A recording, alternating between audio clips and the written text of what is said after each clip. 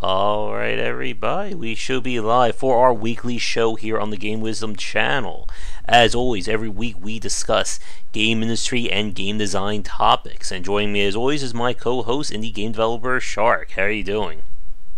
I'm doing as good as can be expected, mm-hmm. which isn't the best, but Yeah. I'm getting by. Yep, me too. It's I have a, uh presentation this week, and then getting back to writing my book. I'm actually, I think, almost halfway done with book number three, but I have been tuning out the fact that I have to source all the images for the book, and Mm. that is a hell for anyone who writes. and I am. Books anyway. What was that? Books anyway. Yeah. Oh, I can't wait. I'm gonna have to. That's gonna be at least a good week or so, I think, just in terms of having to source all those images, and of course they have to make sense with what's going on in the book. You know, I can't Yep. just put images of myself with sunburn on for 20 pages. I mean, you could. You might. You might sell more copies if you do it that way. It's a, I know I could. It could be the de- deterioration of your Sandy playing a roguelike to show myself in different degrees of sunburn sunburnness. Yeah, there we go. There, done. There you go. I just solved all that. but, The solution to all our problems. Mm-hmm. but we have, of course, some news to get to. The Epic Game Store is running. I think they're like third summer event right now, which is weird, right? Yeah, there's three summers in a year. Oh, if global warming continues to happen, there may be more. Just well, be. I I have to hate to tell you this, but global warming is going to continue. Even Yeah. if mankind just ceased to exist, I mean, Yeah, global warming is natural. You know. but will Steam live on forever? That's the big question. I mean, as long as there's water and heat, yes. and with global warming, you know, we're Yeah. not going to have a problem with heat There we go. until we go into global cooling. Mm-mm. So I picked up Maneater, which I've been playing on and off. I was just telling Shark about, like, it feels like there's a really great game there that Maneater just doesn't, I guess, rise to that occasion. Yeah, I, I think, I think it is, you know, it looks like a quite good game. Like I haven't played it. hmm It, it definitely has its issues, and I think that if they fix some of those issues, you know, most of it seems with combat, the way targeting hmm and I guess balance works. But I, I think they, they have something really good on their hands, kind of thing. Just I can't remember how much you're asking for it. Did you ever figure that out? I think it was like thirty-five or forty dollars. I know it wasn't AAA pricing. Yeah, I, I just don't see paying for that price for it. Like hmm I could see paying twenty dollars for it easily. Yeah, and that's why I got it. Twenty five, you know. Yeah. But thirty, I would say that's too much for that game. But you know, everybody has their own kind of price levy, and that's kind of mine because like I figured I'd play it, you know, hmm maybe halfway through, and then be done with it. You know, maybe, maybe, maybe I might play it all the way through, but you know, I would definitely would not come back to it after beating it. Yeah, and I don't see uh, the desire to one hundred percent it either. Yeah, I definitely wouldn't do that either. hmm I probably wouldn't even beat it. I would probably just get high enough in there to have a really cool shark, and then that's about the point where I quit. Probably. Yeah, there's still a few games on Epic that I'm debating. I saw the Star Wars Dark Souls game. They technically have, I guess, Disco Elysium for $19, but I still don't know that's too much for me to really get into that game. I could see it being worth twenty dollars. Yeah. I did pick up the uh, World War Z, the uh, Game of the Year DLC thingy for $9, so now my whole copy is ready. I just wish more people would pick that one up.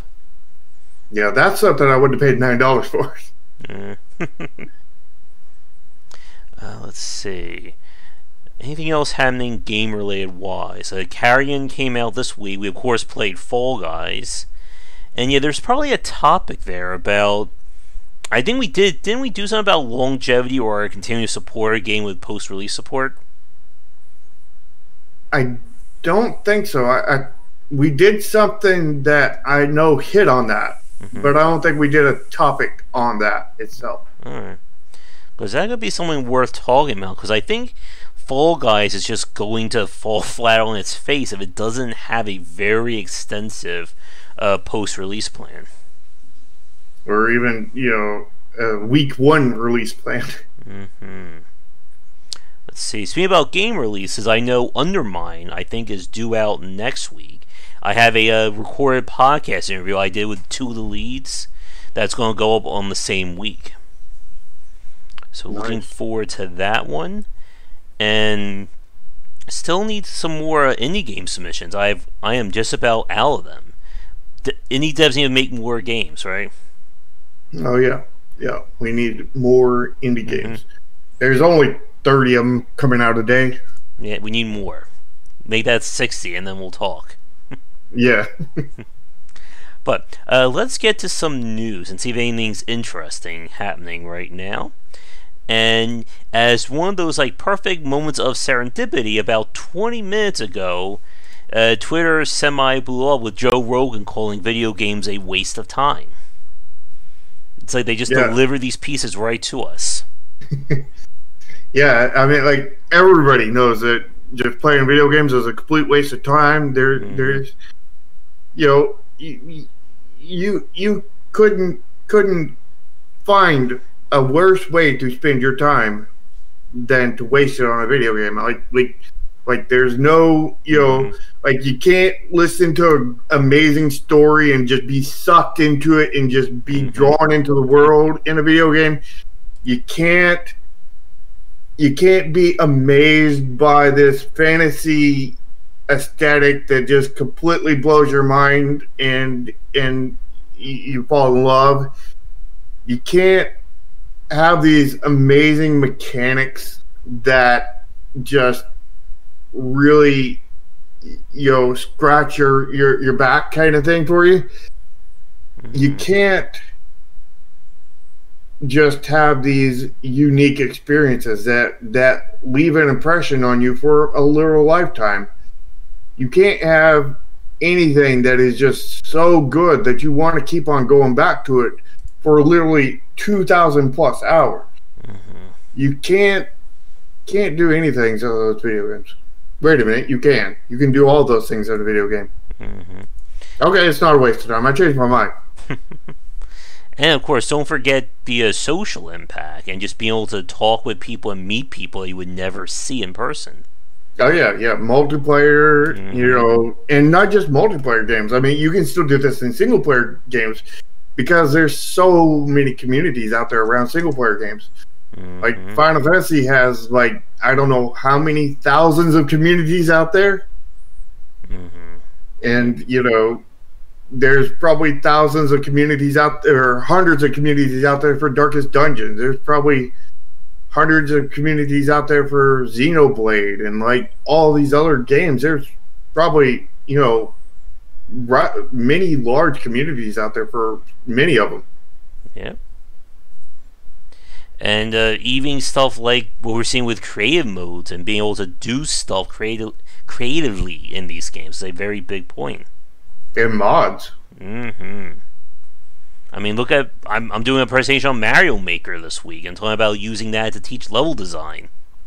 Streams, G- you know, mm-hmm. game streams. You know, what's you, a game you, stream? You, it's a thing where you you you you stream on the internet, right? Never. And when you stream on the internet, you play games and you display that on the on the the the the, the video thing, right? Mm-hmm. The, the, video thing. It's a very complicated term, but it, it, the video thing. You you put it on the video thing, right? And then there's people that will come in and and they'll type out messages like this, and uh, you know, you do they can, say get good a lot? They, they, you know, only the best ones do. Okay. Sounds like this could be an easy way to make millions of dollars, right? Yeah, like like there's there's plenty of people making millions of dollars and getting all those connections, and they're even called uh uh influenza. I mean, in in, in influ in influencer. That that's the word. They're called influencers. You know, and and they they can make all the money and make you know thousands of connections, and mm-hmm. you know, not be a waste of time. Huh, there we go. Well, we solved it there. uh, let's see. Apparently, there was a massive leak from Nintendo earlier this week of a lot of their like early projects and design like, over the last 20, 25 years. And very interesting. There's people debating about how important this stuff is or whether it's good that it's out there. And that's a very interesting, I think, debate right there. Because on one hand, like we've always said, it's always I think it's more important for us to see, you know, more that goes on behind the scenes when it comes to making video games and being a, stu- a developer. But on the other hand, people are arguing that this is being found out through illicit means and may hurt getting more information going forward. I mean, like when it comes to AAA, you never know. Mm-hmm. I mean, they they have their own methods, you know, yep. and Nintendo especially is weird when it oh, comes yes. to their own methods. So I mean, you never know what it's going to cause with Nintendo.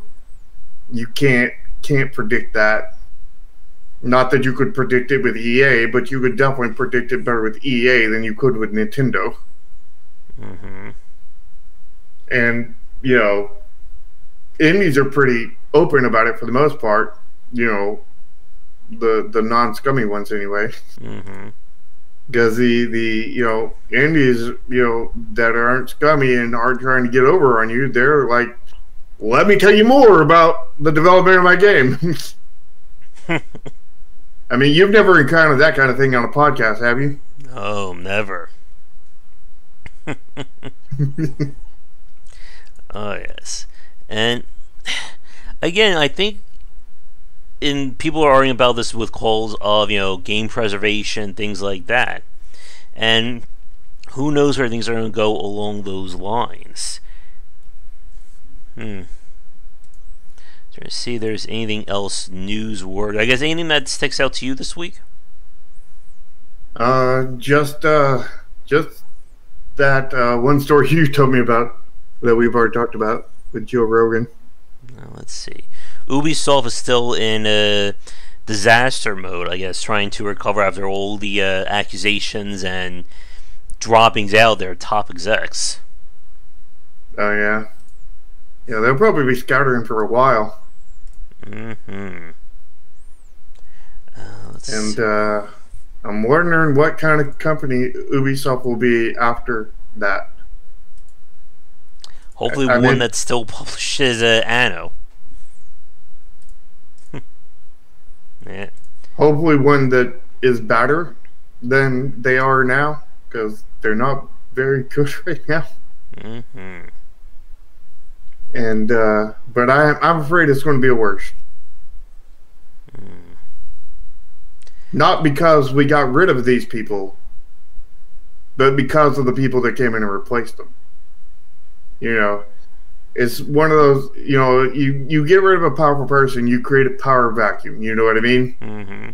And sometimes, a lot of times, when you create a power vacuum, somebody even worse takes up that position. Yeah. Let's see. So it's like going from evil to super evil. Let's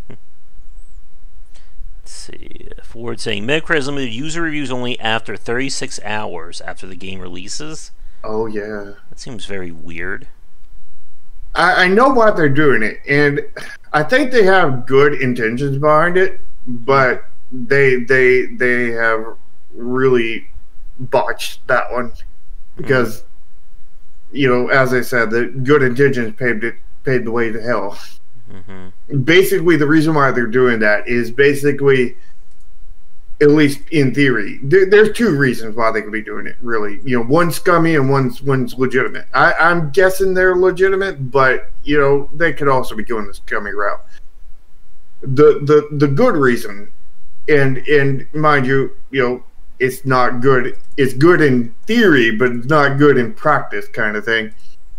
The good reason would be is keep people that don't own the game from leaving reviews because there have been many games that have gotten reviews before the game has even came out, kind of mm-hmm. thing, or you know, hidden it the second it comes out, kind of thing, and because they don't like the developer for some reason, which a lot of times is for a good reason, sometimes it's not. But you know, a lot of times it is, but still, they shouldn't be doing that through reviews. Mm-hmm. They should be doing that through other means, unless they actually bought the game and think that about the actual game. You know, that doesn't. You know, when I say that, that means that if a you know a developer puts a scummy you know monetization model in a game, you and you have the game, absolutely leave that bad review because they earned it. It's part of the game, you know. Now, if they did something on social media or whatever, and you've never played the game, the game could be great and you not know it and you haven't played it. Don't don't go live a bad review. Yeah. But that that that's the good reason. The bad reason is they could possibly ju- just be trying to hide bullcrap from from you know you know known developers trying to push bullcrap. Mm-hmm. It could go either way, but I'm going to give them the benefit of doubt and say that they're going to have the, the, the purest of intentions, but still, the purest of intentions is not good still because that's just not a good thing to do. I mean, they should open up reviews the, you know, at least within an hour of the game releasing. Yeah. You know, like like because by that point people have had at least an hour to get their hands on it and and figure things out. Like they don't need to open it up the second it you know hits the you know comes available, or maybe even an hour and a half, two hours, whatever the Steam refund you know range. You know, just some kind of point, not far after release. You know, it doesn't need to be 36 hours. It also doesn't need to be before or right at the release time either. Yeah. No, six hours would probably be fine. Yeah, somewhere around there. All right, but of course, one thing they would have, one thing I would recommend them do if they were to go with the six hours, is let people leave their reviews, but don't post them yet. Yeah. You know, delayed posting kind of thing, a queued posting kind of thing. and then, of course, you know, actually what I would do is I would allow the queue posting before, you know, the second we put it up there so that instantly, you know, everybody that left a review before like, I don't know, 20 minutes after the game came out, those are automatically wiped. Mhm. Yeah. That way, you know, it's like or, or maybe not wiped. They kept them on, and then they are marked for spam, and then they don't count towards the score. Mm-hmm. Yeah, I mean, you need to have something in place because you know there are people who will just you know abuse any of these systems. Yeah. but 36 hours after the game releases seems like that's that's not good. Yeah. Yeah, that, that's that's very bad because even if they are doing it with the best you know intentions, that's still very bad for the consumers, you know, and mm-hmm you know, that's what the reviews are all about. Yep. And like we're going to talk about for our major topic, it doesn't take 36 hours to figure out if a game is good or bad or not. Nope. Well, it does if you buy it on like hour 35 and a half. Mm-hmm. Yep. All right, let's get to some weird games, see what's coming out, and then we'll get to our major topic then, because I think this will be a very good one, especially mm-hmm. with a mm-hmm. lot of the developers we know that watch. So, let's see what we have. There we go. So this game, Card Cla- Card Cataclysm, Cataclysm. There we go. Looks kind of interesting. Procedurally generated collectible card game. So the problem, of course, they have rejected the, my key or my request for it. Uh-oh. I find it odd when people, when like platformers and roguelikes uh, reject uh, my request because I think because those two are just like the bread and butter of the of the games that I play. Yeah. Games featured on this channel. Mm-hmm.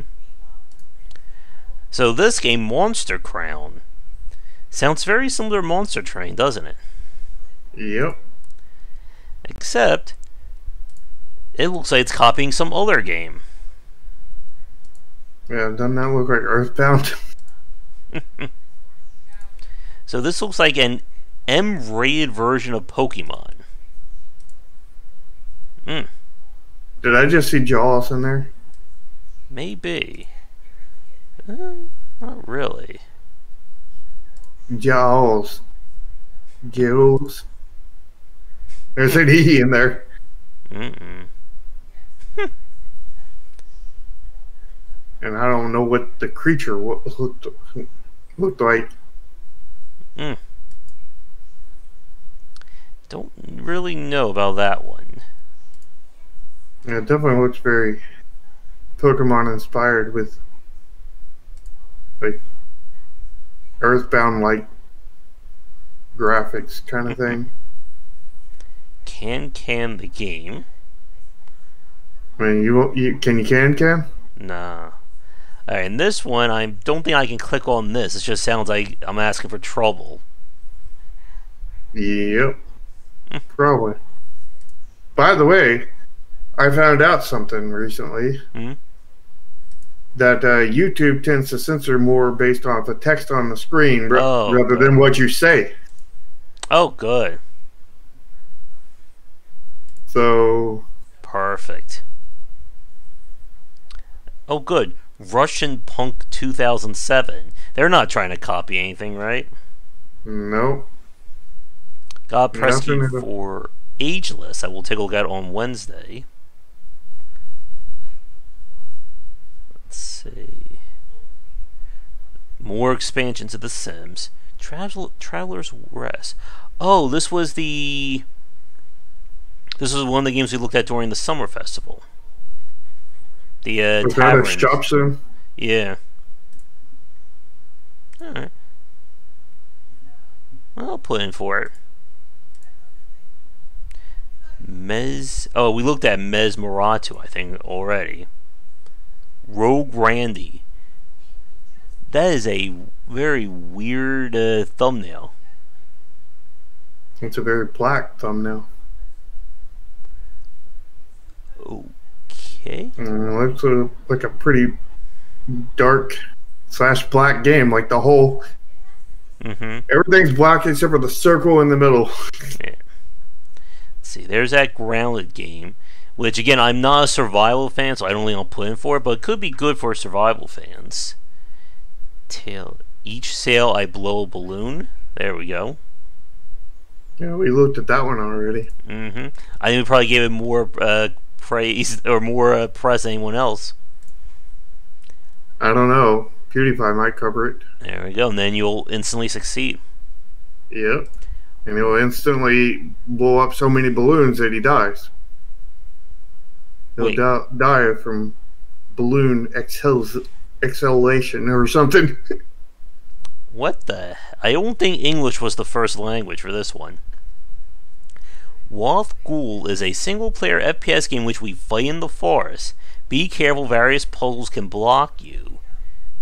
Defeat the targets, follow the instructions. Various creatures in the forest are the protectors of the diamonds you want to steal. The diamonds awaken the creatures. You can only rely on your weapon in the forest. And remember, all you can do is war. Because war never changes. or what is it good for? Mm-hmm. What the? VR time machine traveling in history, medieval castle, fort, and village life in 1071 to 1453 Europe. That is a name right there. What about Momo.exe VR? Oh my god. Mm, Does that mean you are Momo? I guess. Or they're trying to stalk you? I mean, Momo's wearing the VR helmet. Mm-hmm. What is Pandora? Ooh, It's uh, it's uh, full of boxes of loot. Oh my goodness, we've just figured it out. Every loot box you're opening, you're open Pandora's box. there we go. Ooh, pig mount riding. Look at that animation too. That's high quality. This looks like very basic Unreal assets to me. Yeah, and very basic, low effort, or you know, no experience you know, animations. Eh, they were either low effort or they didn't know how to animate. Alright, we looked at Liberated on, I think, the previous Summer Festival. Did you feel liberated after you played it? Mm-hmm. Thousand Threads. Sprout. What's this? I was not expecting that from that thumbnail. Okay. Thumbnails. After placing high in the last Game Maker foray with the theme Small World. Well, it's a Game Jam game turned full game. It's a snap. It's snappy. There is a lot of uh, and AO stuff coming out right now. Well, I mean, people needs to, you know, they they got to have something to do with their uh, mm-hmm. their time now that Corona's Yep. taking a hold. Mm-hmm. The scam. It's, what the hell? Is the scam the game itself? Yeah, I think it be. is. Cursor to get scammed. Okay.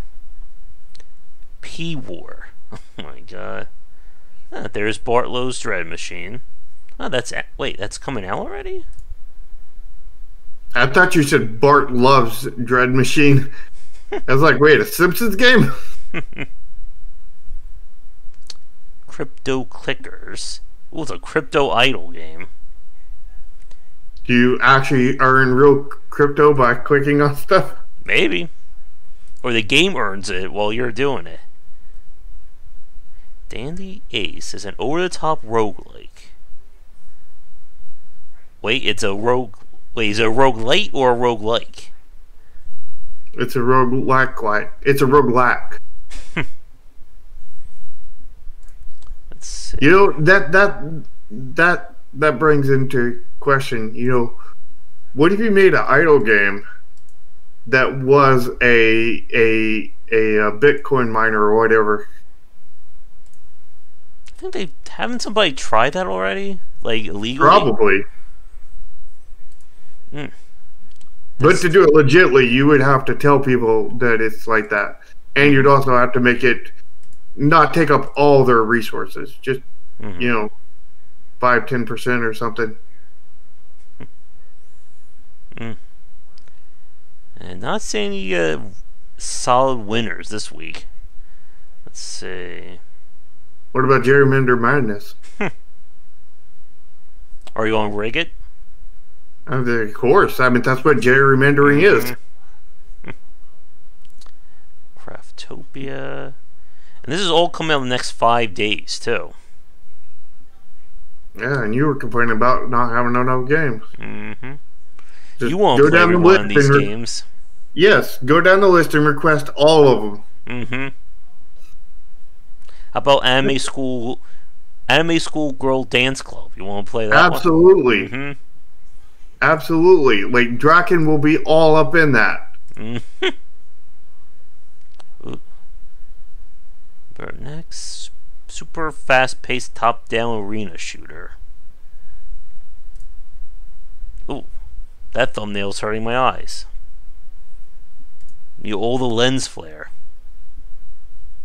Yep. Hmm. Depending on how long they hold it, that might be good or bad. if it's just on there for just an instant, one frame, probably not going to be bad. What about Core Defense? Oh yeah, we did play that one. Wait, don't I have a key? I think I already have a key for that. Yeah, the developer sent that to me. I sent him the video. He never got back to me. Dawn at my. Maybe you don't have a key anymore because it's not showing that you own it. what the heck is this? So somebody's played Zombies Ain't My Neighbors. A historic game that's a perfect mix between RPG and Metroidvania. I don't see any platforming. Or any RPG. okay. I see uh, like a scrolling shooter. is what I see. Okay. VR Dragon game. Legends of Solitaire. We need a VR shark game. There you go. Wait, there, there we go. Zango Shark Adventure. Uh oh. Story of a monkey. Story of a monkey. No, it's not supposed to be a story of a monkey. It's supposed to be a story of a shark. They got the name wrong. Mm-hmm. Or the gameplay wrong. I think they get the gameplay wrong because you know they need to have it a shark. Well, it's a unique gameplay. They need more unique gameplay with a shark. there you go. Oh my. Labyrinth 2, just a game.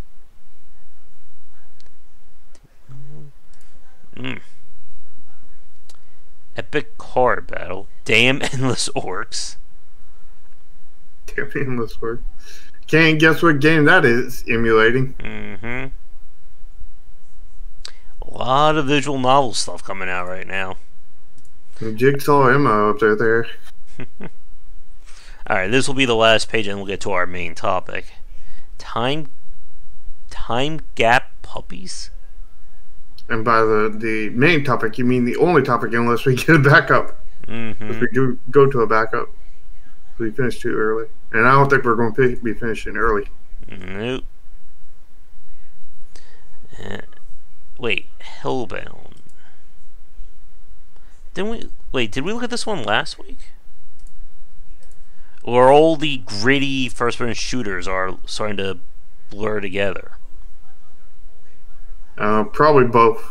Mm-hmm. All right. Probably looked at it already, and it probably is blurring together. All right. Well, let's get to our main topic then, and that is the ever popular topic of learning to accept criticism as a game developer. As we've talked about many times over, when you are in the game industry, especially as an indie dev, you're going to have people looking at your game.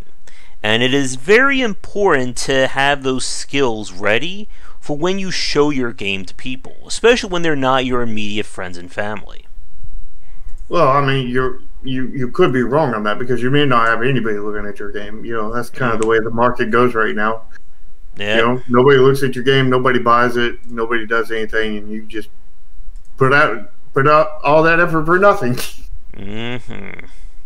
but one could argue that is a worse case scenario than people giving you criticism. Yeah. You can, you know, take the game, put your heart and soul into it, and throw it in a black hole, or you could take the game, make put your heart and soul into it, and then people could say potentially bad things about it. Mm-hmm.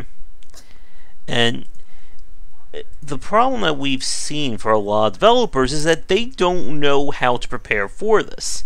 And this can end very disastrously in numerous ways. You could piss off all the people wanting to buy your game. You could end up with getting uh, hit pieces put out on you. Or, you can get that without doing that. mm-hmm. Or you could completely ruin any chance on improving your game if you destroy or ignore all criticism. Yeah, there's actually a really easy way to to to to practice for it and get you know you'll be able to do it well. And that way is playtest your game with playtesters.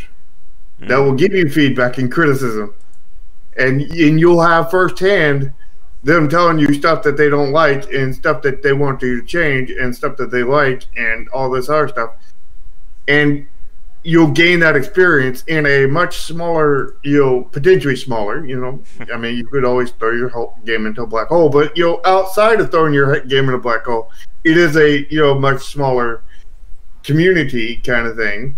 Mm-hmm. And you want to get as many testers as you can get that actually give you feedback. And when I say give you feedback, anybody that says nothing or this is good or this is bad, that's not feedback. Mm-hmm. Yep. They they need to say, I really like the way you did such and such. I really hate the way you did such and such. You know, that is feedback. Just saying something was good or something was bad or nothing at all is all the same exact thing. It's all nothing. Yep. No feedback. Mm-hmm. And as you said, having that small pool to begin with is a good step forward, but every developer needs to prepare for when their game goes on the market. And as I said in that post, what was I like two, three? No, that video two, three weeks ago. Every video game sucks. Your game sucks. Uh, anybody's watching game sucks, and you're going to hear that times a million when your game goes into the market. Okay, first thing, how dare you, sir? Mm-hmm. I need to take off my rubber glove and Mm-hmm. turn down the door here. and the problem is that, as we were saying in the first part, that people can review a game and they will like or dislike it for any number of reasons. There are some reviews that say, This game lets me wear a green hat, thumbs up. Another game, the title screen is blue, thumbs down. Yeah, there's some really, really bad reviews out there. Mm-hmm. And, you know, bad feedback, you know, but don't take bad feedback as anything negative. I mean, like, there's there's some really negative, really toxic, really like make your eyes bleed stuff out there. That is good feedback. Like they can go on as insult rant about you know how your mama stinks and everything, and you know you know wish your puppy to die and all this other stuff, and then and then right at the end say that there was the game had no volume control, you know, to it, and and then keep on ranting, and then and then all this other stuff, and Mhm. you can take all those, you know, you you need to basically copy that and paste that into your thing, and then take and delete all the you know insults and everything, and then get down to that one nugget, that one little nugget of Mm-hmm. th- there was no volume control, and that's your good feedback right there. Yep. So that long tirade of a post is still good feedback potentially. Yep. That particular one is because it tells you that your volume control is not you don't have one. Which We never also seen a game have that, right? yeah, we've never seen anything like that. And that tells you two things. Number one, you need to put a volume slider in there. Mm-hmm. Number two, your music is probably too loud or too quiet by default. Mm-hmm. So, you know, there's two improvements you can do to your game right there. And, you know, what I would suggest is you do that and put it out in your next patch. And when you do, Mm-hmm. you'll reply to that comment and don't don't be an a hole about it because if you Mm-hmm. if you say anything mean or bad, guess what? That's recorded on the internet. It doesn't matter that somebody provoked you. Mm-hmm. Doesn't matter what they said, because no matter what they said, no Kotaku doesn't care what they want to say. You know, none of these, you know, no YouTuber cares what Kotaku, what what this other guy said. All they care about is what you said, Mm-hmm. and uh, it doesn't matter if your thing is nowhere near as bad as theirs. Say anything bad, and it's recorded on the internet forever, and uh, it won't matter for them because you know at least for now, unless they decide to make a game or something, Yeah. you know, or run into politics. Although that probably won't matter. That'll probably be a bonus to them. But you know, if if if they you know if they ever make a game, that's going to come back to bite them. And if you say anything negative, that's going to come back to bite you. You know, so don't ever reply back in negative. You reply back, "I'm sorry you felt that way." We've added a volume slider and we've changed the default volume, and we've also done many other changes that I hope you will like. Mm-hmm. I hope you'll give our game another ch- chance. And you know, some of them will, you know, do nothing. Some of them will reply back and get even more toxic. Yep. Some of them will go back and re- play your game, and then they'll say, "Okay, this is good now." Okay, and they'll go back and edit their review and change it from a thumbs down to a thumbs up, and put a little edit down at the bottom you know, I changed my review because, you know, he's fixed the problem that I, you know, had a problem with. Mm-hmm. You know, thank you. And, you know, and then, and then, you know, edit that out and then reply to your comment and said, I changed my review. Mm-hmm. You know, But again, most people aren't going to do that. Well, the, the inexperienced people that don't listen to our podcast are not going to do that. Mm-hmm. If any of you guys watching this do that, I got, I got a lot of teeth here for you. Yeah. And the problem when it comes to being a developer and when you're accepting these reviews, as we've said, is that there are people out there who view their games as art. Strictly as art. They're not products, they are, you know, masterpieces that they have spent years hand, you know, painstakingly creating by their very hands in blood, sweat, and tears. And how dare you say that my game sucks or complain all the volume control? I mean, games are pretty much that, but you know, that doesn't mean you can't be criticized. I mean, like, you know, you know, Rembrandt and and and Picasso and all these people were very criticized. Like, some of them were laughed out of existence, kind of thing, and they died never getting any kind of good publicity. You know, Mhm. and they were, you know, they were just crapped upon on talked about crapped upon and they they never got their you know they died before Mm-hmm. they became like world renowned famous kind of thing i can't remember which artist there was a few artists that way but there was Yeah.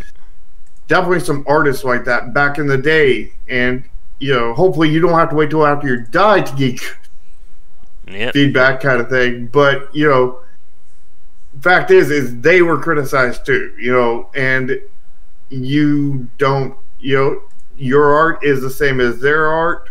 It was different, but it's it's still the same. It's still available for criticism. You know, hmm because not everybody's going to like exactly what you did. And you can't please everybody. And if you dare try to please everybody, you pretty much please nobody.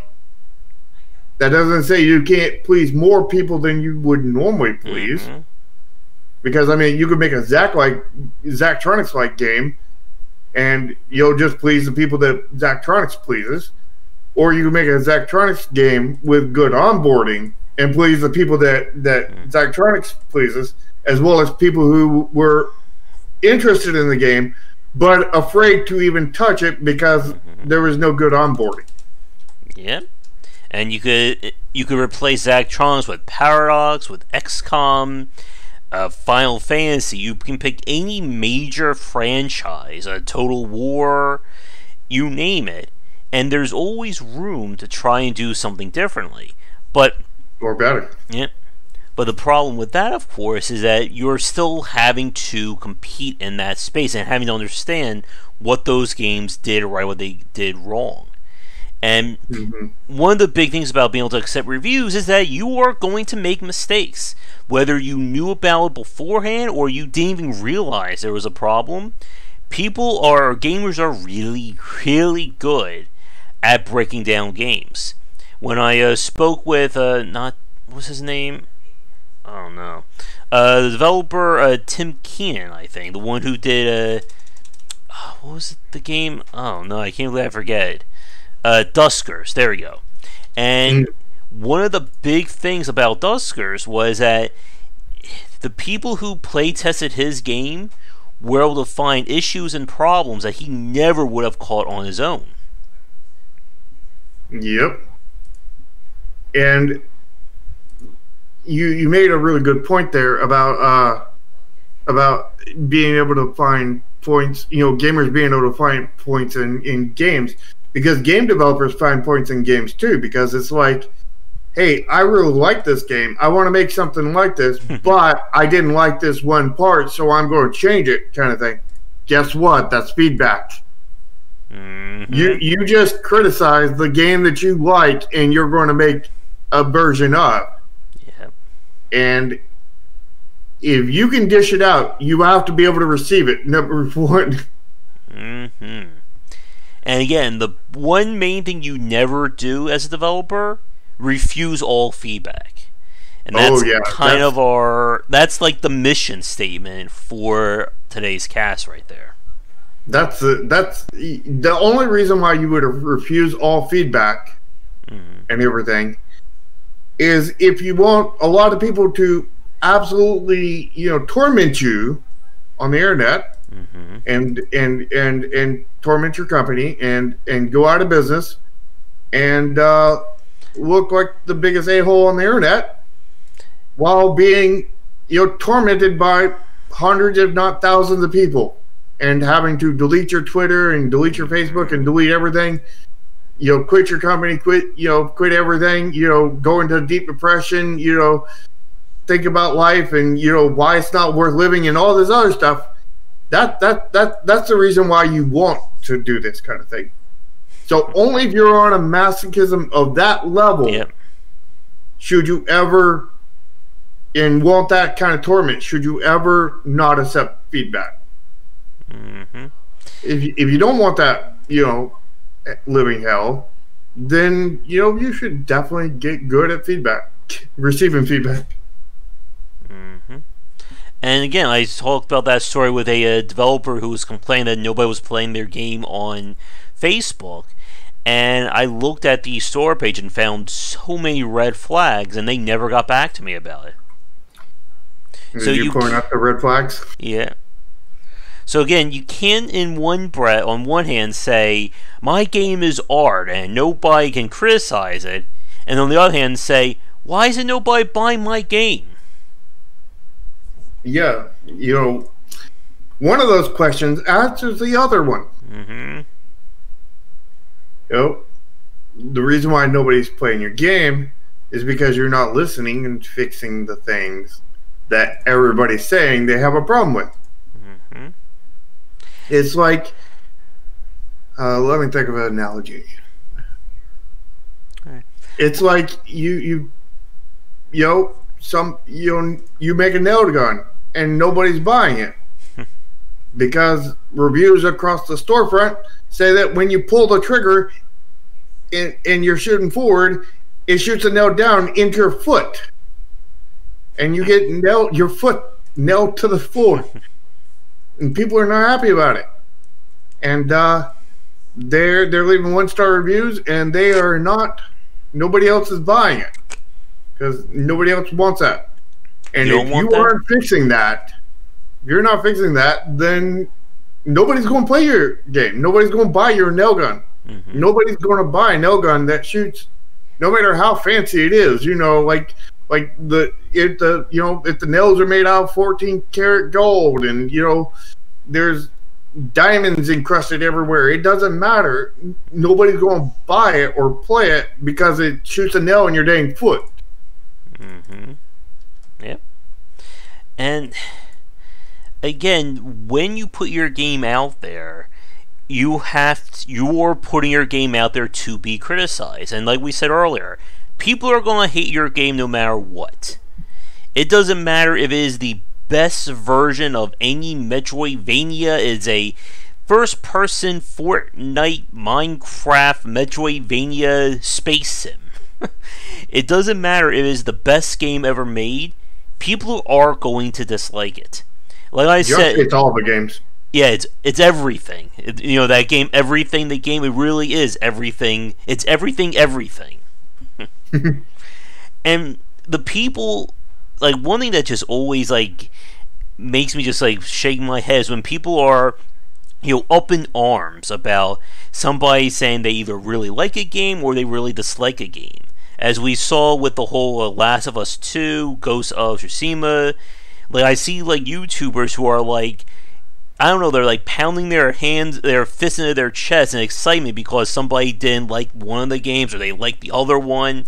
And again, this is just par for the course when it comes to being in the game industry. People are going to love your game, they're going to hate your game. And there is no such thing, as we said, as that perfect game that everybody loves. Yeah. Except for one. Hmm? Which Pong. one? Everybody loves Pong because it was the first game, and without it, no, there would be no games. I'm sure somebody will complain about Pong. I'm, I'm sure there's a negative review out there. Yeah, but they don't mean it because if it didn't exist, then they wouldn't have a video game. so they're lying. And the problem when we talk about this from a reviewer standpoint is that what do you do when you get that negative review? I'm talking full on. This game is a uh, POS. This the developer is just a stupid, lazy person. I hate this game. It was horrible to play. The uh, person should never should quit making video games. You know, zero out of five stars. Yeah. So my first mentor taught me something on that. And what he taught me was is when you have nothing but pure vile and there's no reasonable feedback, what you do is you take an image of somebody who looks, you know, retarded. I don't mean physically retarded. I mean like or mentally retarded. I mean just, you know, retarded. You know, whatever whatever your definition of something that looks just stupid to you, mm-hmm. pick that. You know, pick something that that looks stupid and hilarious that you can laugh at, kind of thing. Not to make fun of the thing, but rather you take it and you put it to this. You know, put it over this comment and everything, and picture that this is the person that said this. You know? and then you could just add some side effects. No, no, no, no, no, no. You know, to it, and laugh at it Mm. because it means nothing because there is no feedback in there and you don't need to get depressed over it you can have a good laugh off of it though because like you know that helps Mhm. it helps deal with your you know it's a coping method to deal with the the stress of having to look at that kind of thing now i'm not telling you to go out and make fun of people or you know specifically that mental ill people are are bad because I'm one of them. You know, what I'm saying is is that you should find a way to cope with it, and that is a good way to cope with it. Just pretend somebody, you know, you know, whoever, whatever kind of crazy image you can get off the internet, it don't even have to be a real person. It can be some kind of cartoon, some kind of retarded looking cartoon character. You know, it could be like one of the. It could be the two stupid dogs. You know, you grab the two stupid dogs, you take it and you put it on that comment, and then you take the the comment and you say, "Well, isn't that cute?" But it's wrong. and you have a good laugh about it. Whatever you can do, you know, just some kind of coping method. That's what you do. Don't reply to it. Just laugh it off and go on with your day. Hmm.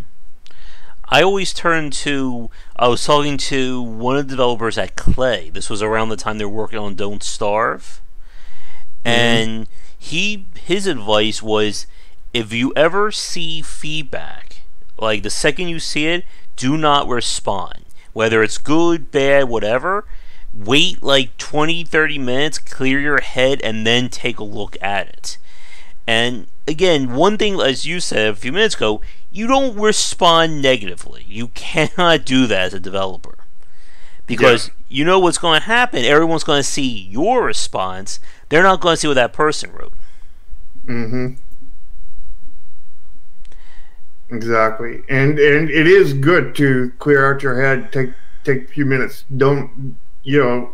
He did have a really good advice there. You do want to take if you're going to reply to it, you need to clear your head 1st Mm-hmm. and maybe take more than 20 minutes. You know, there there's no set time, but I would take at least 20 minutes. And if it's just pure negative with no feedback at all, I would never reply because that is just inviting punishment kind of thing. Mm-hmm. But I mean, if there is legitimate feedback in there, you know, like if it is, if it does have that nugget of gold in that pile of crap, then yeah, you might want to reply to it. But you know, I would probably try to address the person's problem before replying to it. You know, if their complaint was that there was no volume slider or whatever, put a volume slider, push an update, then reply yeah. kind of thing. Or, you know, and just because somebody left something that, you know, like like there's no multiplayer in this game. There should be multiplayer. Don't don't just put multiplayer in there. Don't you're you're not just trying to please all the crowds at the cost of your business. Because that's what game dev is as a business. Yeah. You're you know, you can address everything, but you know, main thing you need to to to kind of come at it is if you're going to reply, only reply to ones that have legitimate feedback in there, whether it's you know Mm-hmm. warranted feedback or not. Like every game is not meant to play, have multiplayer in it, but you know if you're going to reply, you know reply with you know I'm sorry you feel that way, you know, and then make your point you know, and don't don't ever be aggressive or passive aggressive because if you are, it's going to come back on you. Yeah. Uh, you saw it kind of with the uh, developer too. Mm-hmm. And this, I think, is a very important point about when we talk about feedback and such.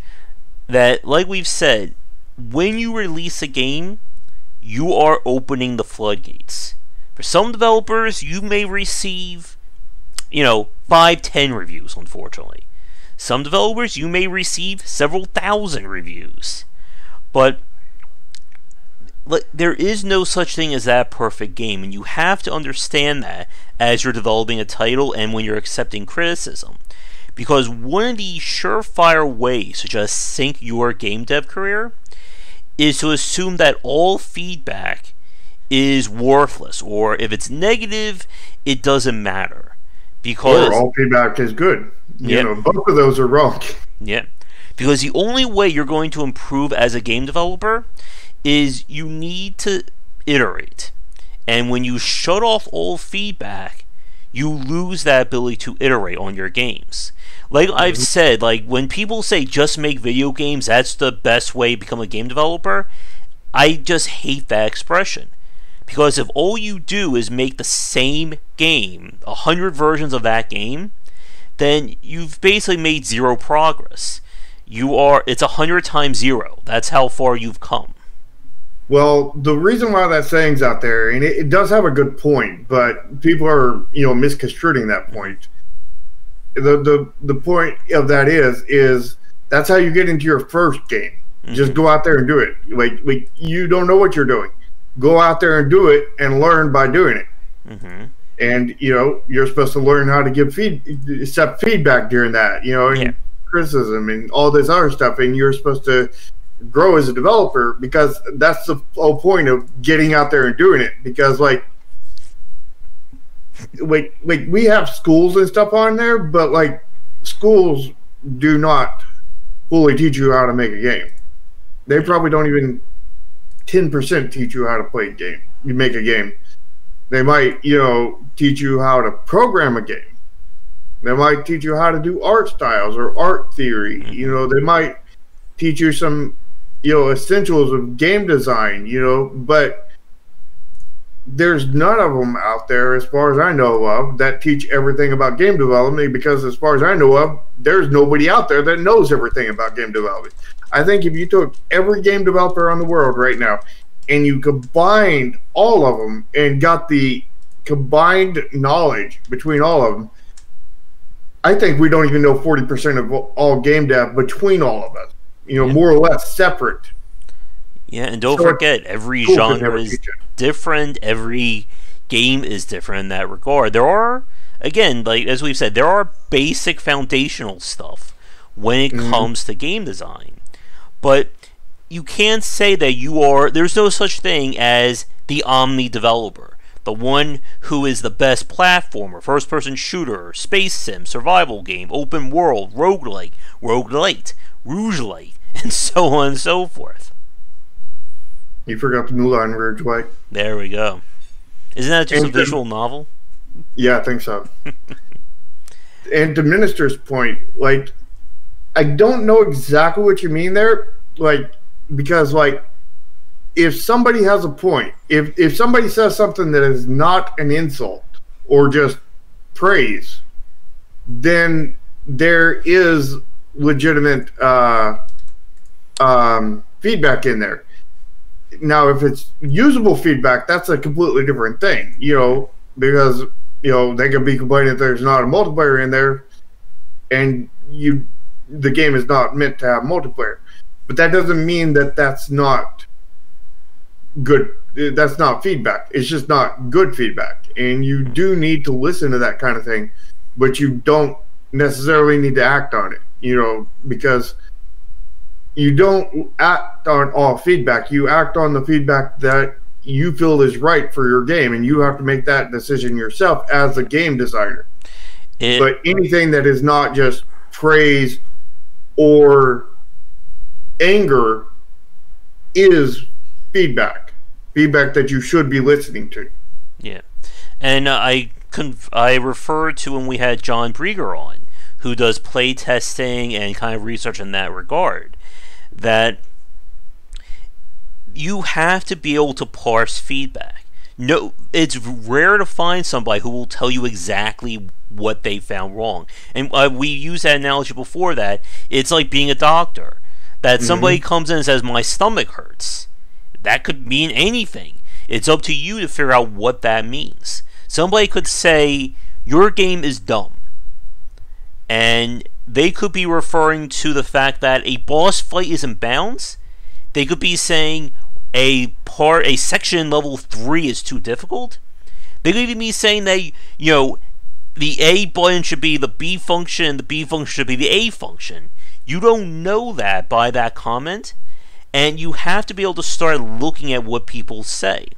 And again, another big point about this is that you have to be able to prioritize what people are saying. Because, as we said earlier, the developer who tries to please everybody will often, will most often please nobody. If you just take everything everybody says and puts into your game, it turns into that design by committee, and then your game, your whole game concept just gets, you know, thrown out the window. Yeah. I'm going to wall back on something I said earlier about you should never reply to somebody who's just, you know, says nothing but bad things. Mm-hmm. And I, I'm going to say that you might want to, to do that. Now, I would not do this to the most toxic of them, but somebody who's not toxic and just say that this game is dumb, like if, if it's something mild, you know, on the mild side of, you know, that kind of thing, I might reply to it, might be willing to reply to it and be like, I'm sorry you feel that way. Mm-hmm. What what about the game made you feel that way? Yeah and see if you can fish for some good feedback kind of thing. Yeah. Because here's the this is one of the most important points for this topic. That if if one person says something, chances are there are more people who feel that way. And they may mm-hmm. not write a review, they may never even go to your forums. They may just play your game, run to that issue, and then immediately uninstall and refund and you will n- never know, you know, how many people were turned off by your game because of it. Mm-hmm. And another, and again, like this is where we also have to combat the uh, echo chamber effect. Because there are developers out there, and I've seen this, who will try and sick their fans on reviewers or on anyone who dares criticize their game there's YouTubers that do that too. Yep, it goes both ways for sure. And you have to be really careful about that because it can backfire on you. Again, you can point out when something is wrong, and there there's always a diplomatic way to do it. But you need to be very careful about escalation. Because mm-hmm. once you know you say your thing they say their thing okay that's it. Whoever kind of throws the next punch is going to be the one everybody's looking at. Well actually the one they're going to be looking at is the game developer pretty much. Yeah. A developer, game developers normally get the worst side of everything. Mm-hmm. Welcome to game development yeah I did have somebody try and target one of my reviews for their game. They actually posted about and they wanted people to say, "What is this? What do you think about this guy saying this stuff about my game?" Oh yeah. Mm-hmm. How'd that work out for them? I think like nobody really cared, and like everyone just like kind of like ignored it. This was when I was like down to I think it was when I was like at 600 uh, subscribers, so I guess I wasn't big enough to be a target. Again, I keep testing the wars with controversial topics just to see how famous I am. And so far, it hasn't blown up at all. Yeah. Tomorrow's... One day we'll, we'll, we'll be talking about something completely you know mundane, and then like it'll blow up in this big controversy. Mm-hmm. Game like, Wisdom hates uh, I don't know uh, hates auto jump. No, hates uh, auto uh, what's that? Uh, endless runners. Endless running. There we go. yep. Oh yeah, yeah. I'm world. well, I do have a lot of fans worldwide. Again, I'm more known worldwide than I am locally, so there's always that. are you are you more you more world more worldwide famous than you are in your house? Yeah. Mm-hmm. yeah, same here. Yeah. Same here. My and, family thinks I'm a nobody who just goes upstairs and plays games.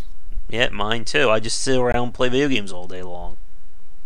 You know, well, you know, on the internet, you know, I wouldn't say we're super famous, but you know, we're we're, we're famous compared to most people on the internet. and you know, and you know, you guys might be like, "Wow, look at them," and then you look at us in real life, and we go down there, and our families just think we do nothing, and we're just up mm-hmm. there playing video games and just you know good for nothing, just playing yep. video games. Mm-hmm. uh, to bring this back to the topic, that when you're trying to parse this kind of feedback, again, you can you're never going to know as a developer just how much you're going to get. And unfortunately, that is a very big problem in the perfect mm-hmm. world, you know, every indie developer could guarantee at least 50 playtesters. There are developers out there who would kill to have 50 playtesters look at their game. I'm one of them. Yep.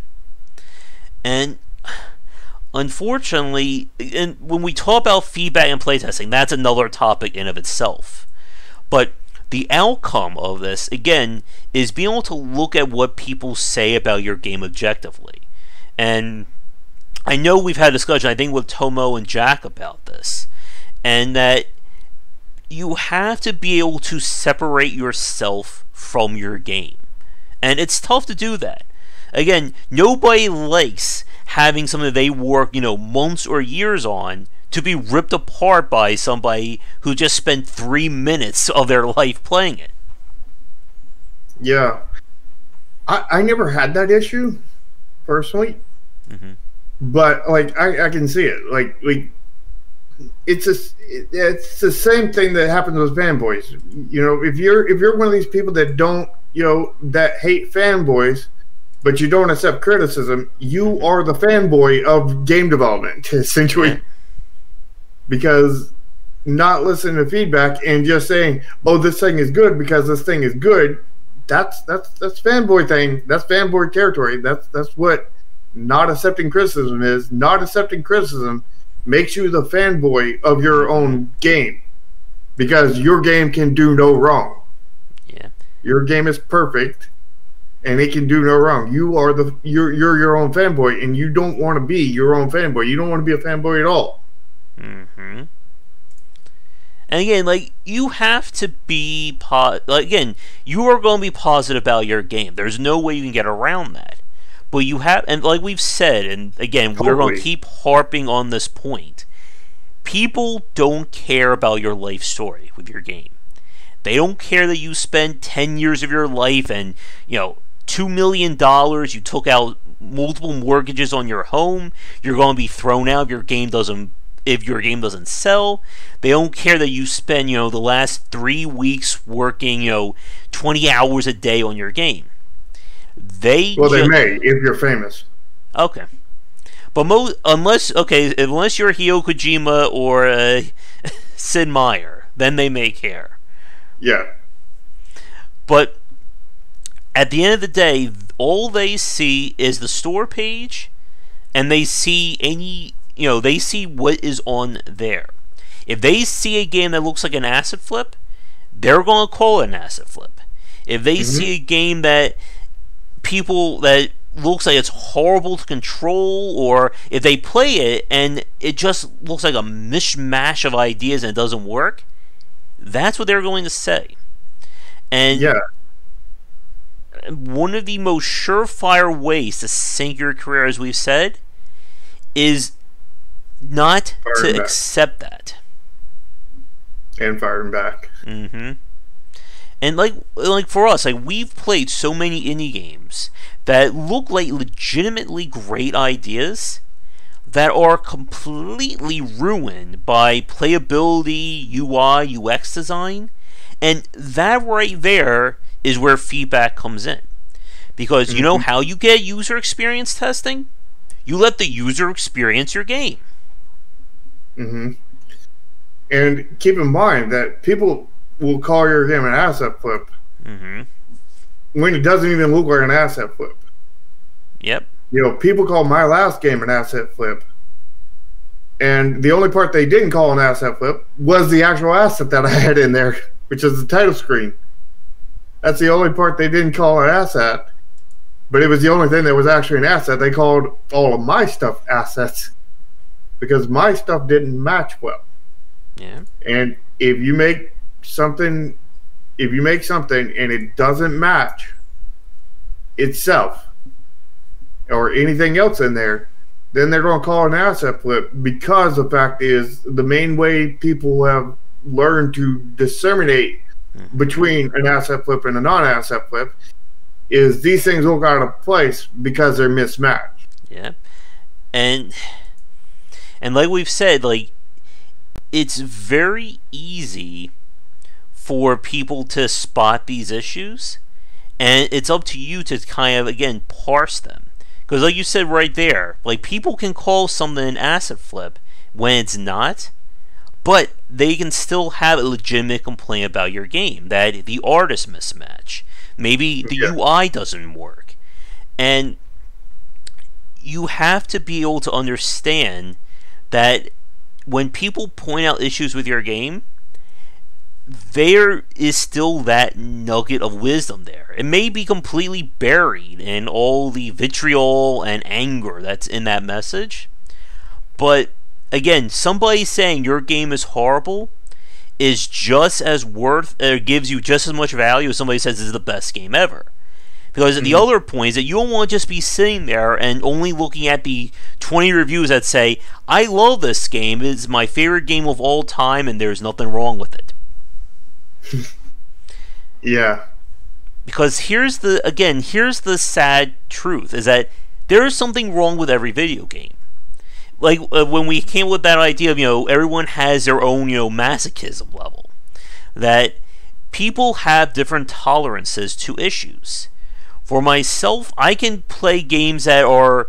I can play games very masochistic, masochistically. That is not easy to say. until I hit certain pain points. Again, if your UI and UX design are off, that just doves that dovetails it for me. I don't care if the gameplay is great. If I'm having a horrible time controlling your game, I'm done. I am out.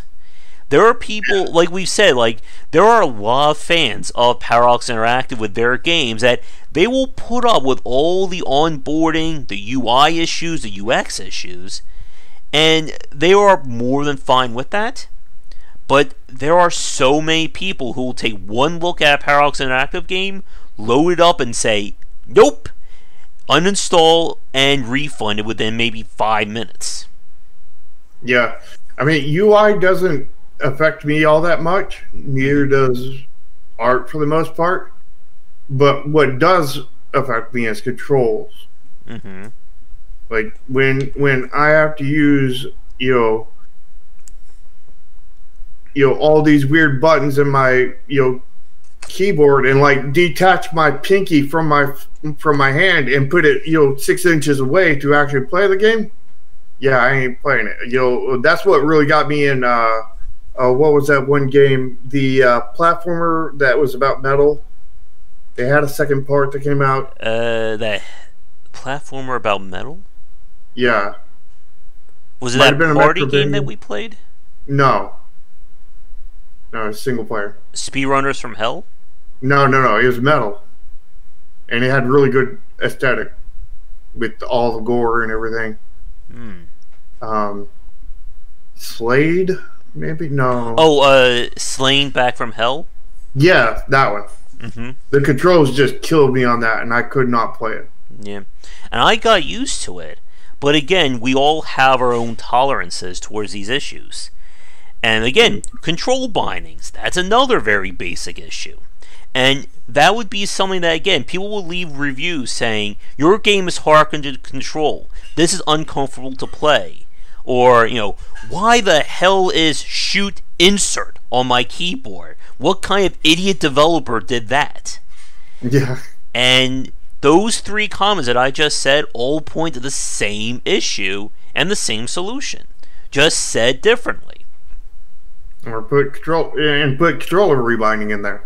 Hmm And to a minister's point about show ideas, yeah, that's one thing that again indie developers are really good at at that level of transparency, and it does help to build goodwill and you know support among people, so that when you do have bad news or you do have to say we can't do this, people know that you've been working your ass off to actually make this happen, and it's just not going to work, and again, that's another important point about game development. I, it may it could be its own topic. I don't know, but that idea that sometimes you have to cut an idea, no matter Yeah. if you love it, no matter if your fans demand it. Sometimes it just doesn't work. Yeah, I mean that happened to me in my last game, the Word of the Day, Chromasia. Mhm. People, you know, there was one piece of feedback through my testers that I could not address. We tried and tried to address it, and that was putting shadows in the game. hmm Because the only way to put shadows in the game, and mind you, we should have done it, was completely redo all the art. What we should have done was just completely redo the art, because the the the art is the main reason why it failed. Not because it didn't have shadows, but you know, like if we had Mhm. done the shadows, if we had put in all that work to completely replace every piece of art and redo every animation, then we would have hopefully addressed the art problem. Not saying that we should have taken that feedback, but you know, hmm you know, but we should have replaced all the art, which would have just been a side effect of taking that. But like hmm re- putting shadows in was not within you know scope. Like it was, you know, we needed Yeah. to get the game out. We couldn't really wait. And if we waited, you know, I mean, we already had the death flag already cut waving. You know, we already knew that we had six months until we go under, unless we get a decent amount of income in here. And we didn't get the decent amount of income, and we did go under. Not completely under, but we went under, and you know, I had to remove the game from Steam, shut down the LLC. Of course, you know, the government wants more money, so they didn't do it. hmm And uh, now I'm on the hook for even more money. And like we said, it it is very tough to be a game developer. I think we've said that many times over.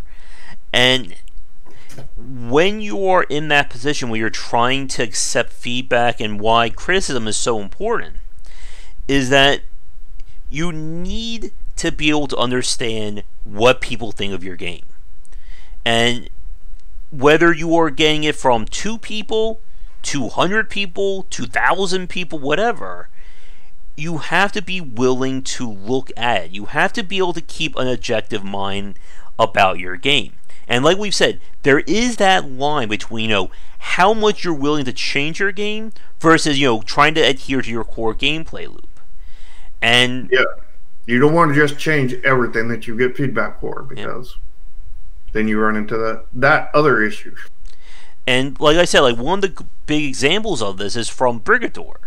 That when I spoke with, I think it was Hugh Monahan about it, that the very first version of that game only featured the tank-like control scheme. His fans really liked it. He liked it. But people were complaining that it was hard control, that they wanted something that was more uh, more modernized, something that again it feels better in your hands to play. And he outright turned it down. And guess what happened? A lot of people didn't buy his game, and those who did uh, reviewed it negatively because of it. And they went back to the drawing board and they redid it for Up Armored Edition. And guess what? Up Armored Edition sold a lot better than the first version of his game because he eventually listened to user feedback. Mm-hmm. Who would have guessed? If you give people, you know, if you make make the game enjoyable for people, people will actually want to buy it and play it. And this is another very big point. This one I think could be a little bit of a tangent, but needs to be said the excuse that you're making a retro game or you're making a game inspired by something else doesn't hold water these days. If you make a game that is purposely cumbersome but you're trying to emulate a game from 1994, guess what? It's the year 2020. People don't want to play a game that is worse than a game that they played in 1994. Uh oh, we got Josh using current year arguments. Uh oh. Those will be dated in about 20 minutes. Exactly. But like we said, the market is constantly changing and it's shifting. And you cannot use an excuse that you're trying to emulate something from 20 years ago. And yeah. one of like my favorite things when I spoke with um, I always forget his name. Mark Leonard? Mark Lambert? Uh, the one who was working on, uh, not Skald, uh, the other one. The other modern retro Mac uh, based RPG. What was the name of it? If anyone remembers it, let me know. Uh, maybe it will come to me in a few minutes. But one of the things that he said was he didn't want to just make a game that will be released in 1995. What he wanted to do was make a game that is in honor of that, but looks like somebody kept iterating and refining on that design. So that could be something somebody who didn't grow up playing those games can at least enjoy and appreciate. And again, yeah. that's user feedback and user interface or user experience. Well, what what I've seen a lot of times is you know people who actually made the games in the past mm-hmm. actually wanting to make that game again but wanting to make it the way they wanted to make it. But we're not able to make it because of the limitations. Because of the limitations, they had this screwed up thing. Because of the limitation, they had this mm-hmm. screwed up thing. And because of the limitation, they had this screwed up thing. Because of this limitation, we couldn't put more than five colors in the game, you know? Yeah. And again, like, there are people out there who will defend defend retro games as being this golden age, and you know, every game from 1988 to 1994 was perfect, and there was nothing wrong with them. But the thing is, a lot of classic games suck, and they suck again due to issues outside the developer's controls. Or well, you know what's going to happen? Mm-hmm. Twenty years from now, the classic games aren't going to be those; they're going to be the ones that we have now. And yeah. people are going to be arguing that the games we have now are perfect, and we damn well know they aren't. Yeah, somebody's going to defend to the death. Uh, what was that game? Uh, Road to Redemption. That horrible, and they're going to say it's the finest piece of art. Mm-hmm. And they're going to want to do a remake of it and change literally nothing and leave all the bad crap in there. Yep. I remember when I interviewed uh, Bill Gardner, who worked at Irrational Games during Bioshock And one of the things that I hated about Bioshock was the control scheme. It was very cumbersome to have to switch between you know plasma mode and weapon mode. Why couldn't I just use both those elements, like in Clive Barker's The Undying? And when I told Bill that, you know what he said to me? Right. He said that he agreed with me. It was a horrible control scheme, and that they originally had it in mind to do something similar to Clive Barker's Undying. But uh, comments and criticism from higher up said they didn't want that system, so they had to change it at the last minute. And that's how it happened. So, for the people who will defend a game like Bioshock to the death, know that there are issues in that game that even the people who worked on it agree that there's problems with it. And don't like it. Mm-hmm. And had it that way before they were forced to change it back. Yeah. And and there will be people 20 years from now that will want to do a Fallout 76 game. Mm-hmm. And they will, you know, will want to keep it, you know, as derpy as it is as original, and in in you know bad monetized as original, and all this other stuff, because that was a perfect game, and you know they should never change anything on it. And also, what's the point of playing that game? You can just go play Fallout 76. Well, you might not be able to. The servers might be down, but you know, in most games you could do that. Yeah. Not that you'd want to, but you know. Mm-hmm. You And- could. Um, on pretty much every game that is not locked to a server.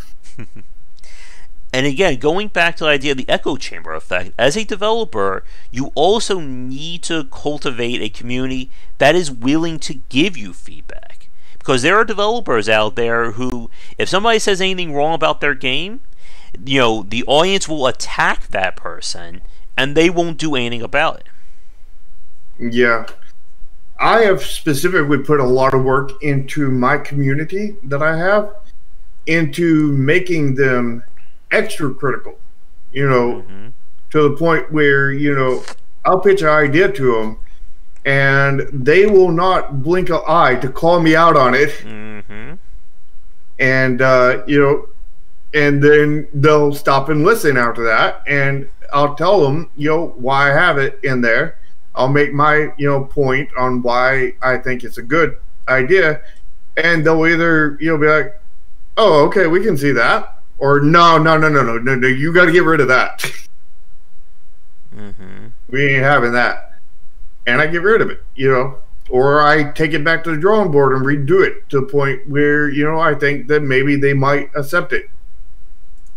You know, but I I I purposely trained them to be extra critical, and you know, call me out at any point in any time over anything, so that I can get the the most value out of my feedback that I get, as well as um, I get more meaningful feedback, more feedback in total, and I don't ever have an echo chamber.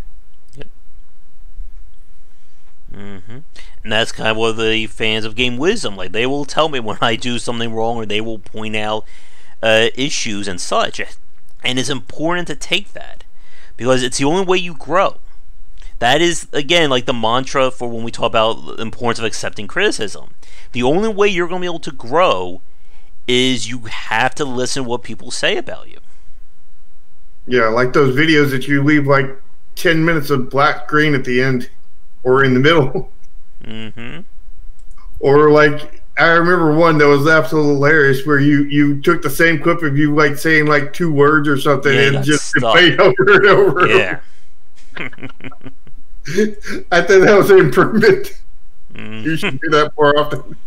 Again, I could just for these things just record myself just saying just like random things, put it over here, go take a walk, and just let a shark rant for an hour. It'll just be me going, uh huh, yeah, and nobody will notice. Exactly. Like that, what they did in Speed when they just edited the footage to just be on loop. That's Yeah. what I'll do for the stream. I'll just record myself playing a game and just like saying random things, and then I'll just go relax for the whole night. Yeah, you you'll you'll have to play a little bit of the game before you start the stream, so you you know which recording to put in there. The one whether it's not bad or ooh, you know, you, you got mm, mm, you It's, a, it's okay. It's not bad.